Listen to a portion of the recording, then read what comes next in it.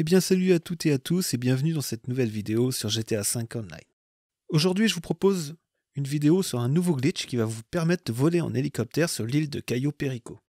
Avant de commencer la vidéo, je vais vous demander d'aller follow la chaîne Twitch que je vous mets en lien en bas de la vidéo ainsi que dans la description. Ça vous permettra d'être tenu au courant des nouveaux glitches que j'annonce généralement en priorité sur Twitch pendant mes streams.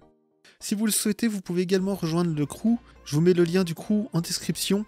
Il reste encore de la place, donc ne tardez pas trop non plus à le rejoindre parce que quand il n'y aura plus de place, bah, il n'y aura plus de place. Mais si vous souhaitez jouer avec d'autres joueurs pour vous faire aider dans le jeu ou éventuellement pour réaliser des glitches, je vous conseille fortement de rejoindre notre crew. Alors pour réaliser ce glitch et voler en hélicoptère à Cayo Perico, ce qu'il va falloir faire donc c'est vous lancer les missions préliminaires comme d'habitude. Donc vous lancez d'abord la première mission, c'est-à-dire vous allez payer les 25 000 dollars de frais pour préparer le braquage. Puis bien sûr, vous allez lancer la mission de préparation vous allez devoir aller chercher le Velum que vous allez devoir voler pour vous rendre à Cayo Perico. Donc n'oubliez pas de déplacer votre sous-marin pour vous rapprocher de la mission et pouvoir le faire plus rapidement. Euh, si vous souhaitez faire rapidement cette mission, je vous conseille de le faire avec votre hélicoptère. Si possible, équipé de missiles, ça vous permettra d'abattre les PNJ beaucoup plus rapidement. Faites juste attention aux PNJ qui sont à côté du Velum parce que vous pouvez facilement endommager votre Velum si vous tirez des missiles à côté. Donc comme d'habitude, vous tuez tous les PNJ, vous volez le Velum. Et une fois que vous êtes en vol, ce que vous allez faire, vous allez appeler tout simplement votre secrétaire. Et donc là, on va avoir le menu qui nous permet de demander l'hélicoptère de luxe qui va s'ouvrir. Et vous le gardez ouvert, tout simplement. Donc il faut faire ça avant d'arriver à Cayo Perico. Donc je vous conseille de le faire dès que vous arrivez euh, au niveau de la mer. Ça permet d'être assez tôt mais pas trop tard.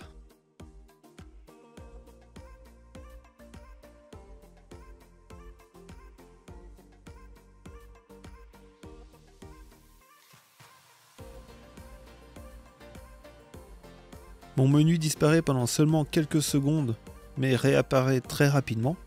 Et là, tout simplement, j'ai plus qu'à demander l'hélicoptère de luxe, et la secrétaire va m'emmener l'hélicoptère de luxe à Cayo Perico. Une fois que l'hélicoptère est là, donc vous n'avez plus qu'à monter dedans. Alors il faut savoir une chose, vous ne pourrez pas le piloter parce que cet hélicoptère n'est pas pilotable. Par contre, vous pourrez indiquer un point sur la carte et elle vous enverra sur ce point. Donc ça reste intéressant si vous souhaitez rusher les missions de repérage en allant directement à la tour de communication.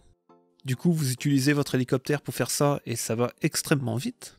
Par contre, elle ne se pose pas, donc il faut descendre en parachute quand vous descendez en parachute, faites attention quand même à ne pas passer devant les gardes, ni à vous tuer bien sûr. Si vous vous loupez avec le parachute, bah, vous allez revenir à l'aéroport et vous ne pourrez plus avoir l'hélicoptère.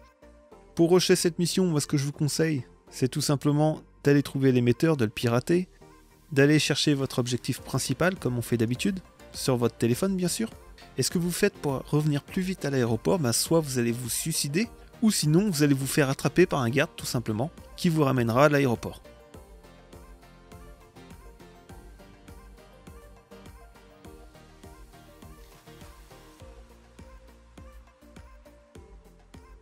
Une fois à l'aéroport, vous n'aurez plus qu'à reprendre le Velum pour rentrer à Los Santos. Donc voilà, c'est tout ce que j'avais à vous dire sur ce glitch. Donc j'espère qu'il va vous aider à aller plus vite pour faire les missions de repérage. Si c'est le cas, n'hésitez pas à liker la vidéo, à la partager, à la commenter.